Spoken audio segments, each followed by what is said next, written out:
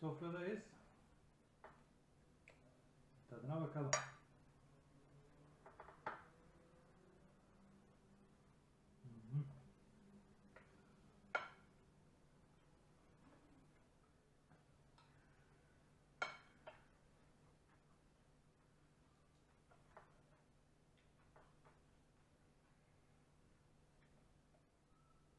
Çok güzel olmuş.